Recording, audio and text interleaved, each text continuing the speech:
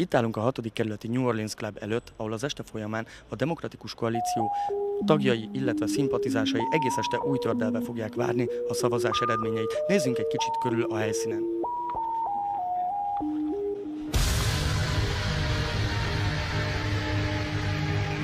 Mint láthatják, azon a hatalmas kivetítőn fog zajlani az eredményeknek a közvetítése. Egyelőre még nem érkezett meg senki a politikusok közül, de lassan 7 óra tájékán elvileg mindenki befut.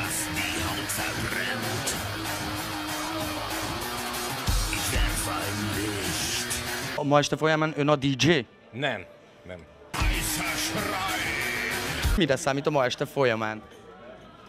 A, tehát természetesen arra számítok, hogy az általam favorizált ö, politikai oldal elsőprő nyereséget, győzelmet fog aratni, és aztán majd ehhez képest alakul az este.